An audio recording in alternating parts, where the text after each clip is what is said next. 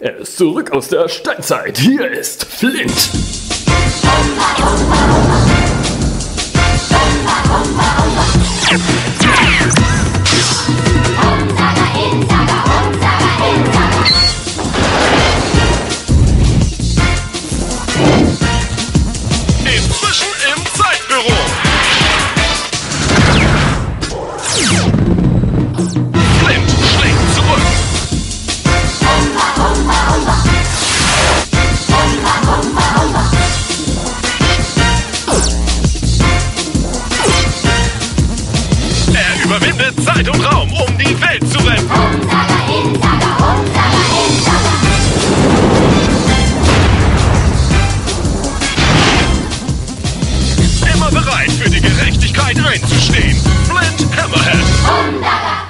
Ja, hallo Leute und herzlich willkommen zu einer weiteren, ja, ich will's, ich weiß noch gar nicht in welche Abteilung, in Ecke. Ich nenne es mal ganz vorsichtig, nenne ich es mal Anime-Review, aber letzten Endes ist es doch nur eine kleine Preview letzten Endes. aber dazu kommt gleich. Flint Hammerhead, meine Damen und Herren, RTL 2, Kindheit, juhu, man könnte es fast schon als Nerdtum, Nerd, Nerdtum der Kindheit bezeichnen. Ja, Flint Hammerhead, wer kennt es nicht? Wahrscheinlich viele, die ähm, bei euch ein bisschen noch, ähm, also zu dem Zeitpunkt noch ein bisschen zu jung waren oder ah, gar nicht existierten. Ähm, kann ja durchaus sein. Ähm, dann ähm, möchte ich euch das Ganze kurz mal erklären. Also es ist eine recht simple Serie. Eine simple ähm, Pokémon-like-Serie, nenne ich sie einfach mal. Ist auf diesen Sammeltrieb so ein bisschen, ja, das ist mit dem Licht hier gerade so ein bisschen doof. So, ähm, auf diesen Sammeltrieb so ein bisschen gekommen. Und zwar äh, folgendes: Wir haben eine, ähm, hier, eine, ja, so eine Art Team Rocket, ne? Sieht man so, zwei Doofe und äh, die Frau im Gepäck. Das war irgendwie in Japan sehr, sehr äh, beliebt zu der Zeit. Irgendwie auch bei den Videospielen, auch damals immer so dieses typische äh, Duo, dass man zwei Doofe und eine Frau in, ein, in eine Gruppe steckt und das sind dann so die Bösewichte, die ja dann letzten Endes nie die Ultra die wahren Bösewichte sind, sondern eher so die Handlanger, die sich aber als ultra böse und ähm, wichtig empfinden. Und äh, das kam dann immer zu so Slapsticks. Und diese ähm, sind eben in die Vergangenheit gereist, um ein besonderes Tierchen, ich weiß gar nicht mehr, wie man die genannt hat, um ein so ein besonderes Magiewesen ähm, zu finden in der, in der Steinzeit, weil so Dinos rumlaufen und so. Und ähm, ja, schaffen das, tu- tun sie halt immer diese Wesen dann versteinern und holen sie dann, ähm, gehen dann zurück in die Zukunft wieder und äh, suchen sie in der, in ihrer Zeit an dieser Stelle suchen sie dann dieses Ei oder was es auch immer wird und versuchen das dann zu, ähm, ja, wie nennt man das nochmal? Ähm, entversteinern, ähm, entsteinern. Ich, keine Ahnung. Ja, ihr wisst, was ich meine. Ne? So, so wie ein Archäologe quasi so seine prähistorischen Knochen und so weiter sucht. Ähm, so suchen die eben halt das und äh, tun das dann wieder halt rückgängig machen, dass das Viech dann wieder lebt.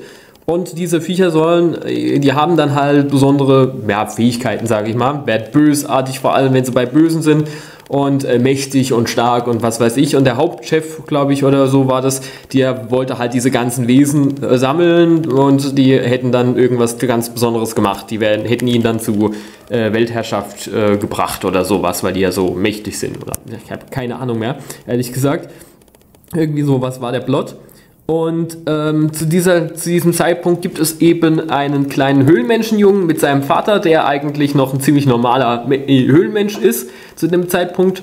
Und ähm, der wird, die beiden werden irgendwie versteinert von diesem Strahl, der auch dieses kleine Viech hier, oder ja doch, dieses kleine Viech hier ähm, versteinert, werden die zwei auch versteinert. Und der Junge wird irgendwann in der Zukunft in, bei einem Professor, sowas wie ein Professor Eich nenne ich es jetzt einfach mal, ähm, wird der wieder entsteinert. Aber der Vater, ja, der schafft es leider nicht so ganz, der, den kriegt er nicht mehr hin richtig zu entsteinern. Aber er nimmt dann einfach diese Steinform und macht ihm dann so, gibt ihm so eine besondere Fähigkeit und der Steinklotz kann halt trotzdem reden. Und das ist quasi Vater und Sohn. Und äh, die zwei sind eben dann auf der Durchreise. Die fangen, das ist total willkürlich, die leben dann in der neuen Welt und sagen sich dann halt, hm, wir wollen nicht zurück in unsere Welt so oder so, sondern sind einfach so der Meinung, ja komm, jetzt, sind wir halt hier und jetzt machen wir halt das Beste draus, ne? So, und dann äh, haben wir hier die zwei anderen Hauptcharaktere. Einmal das Mädel, einmal der Junge. Die äh, sind auch reg regelmäßig beim Prof.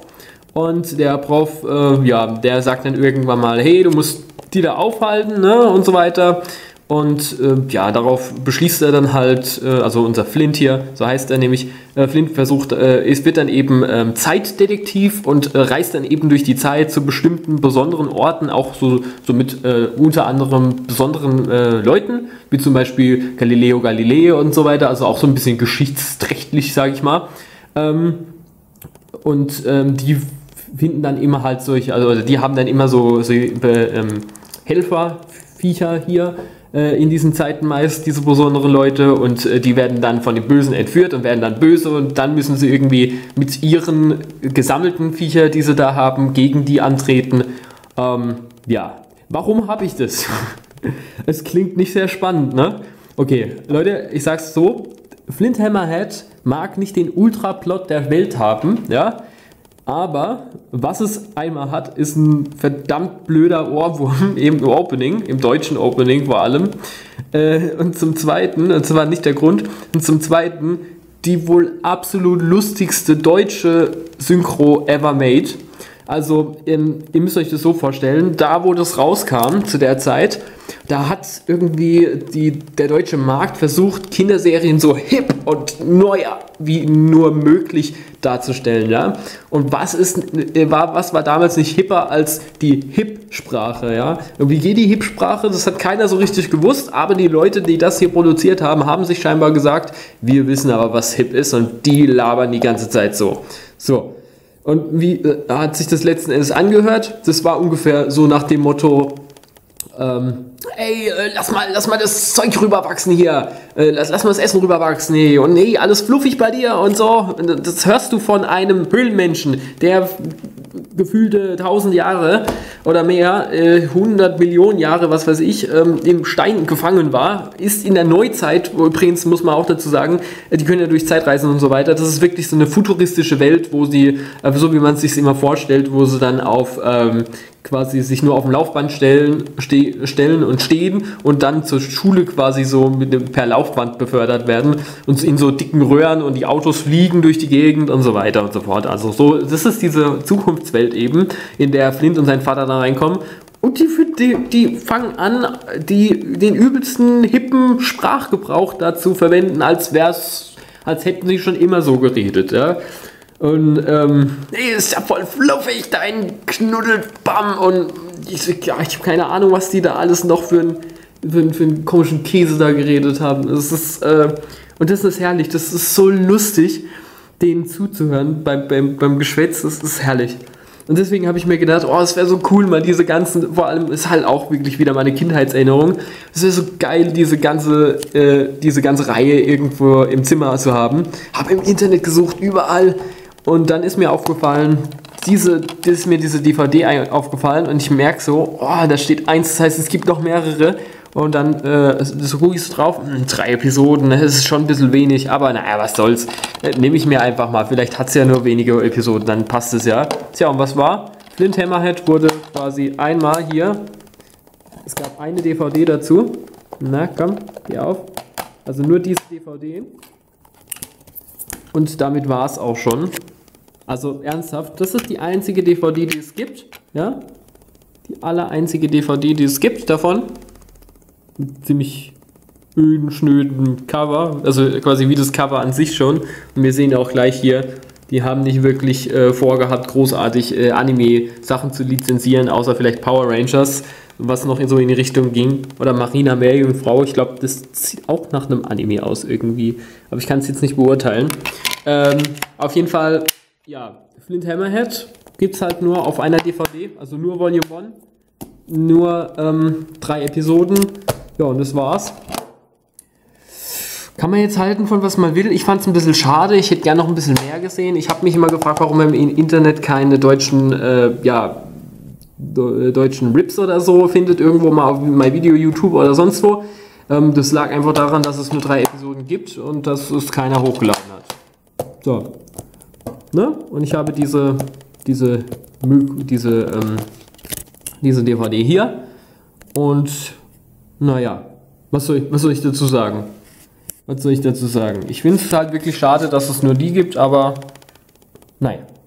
So ist das eben. Und manchmal, da wird es Regen geben. So, das wäre es soweit von hier. Ich weiß noch nicht, in welche Kategorie das steckt. Werden wir mal schauen, wo sich dann noch am ehesten reinpost. Wenn euch das Ganze gefallen hat, ein Däumchen hoch, kann niemandem schaden. Und ich würde sagen, wir sehen uns am nächsten Tag. Bis dahin, euer René von der Maison Manga. Flint Hammerhead, over and out.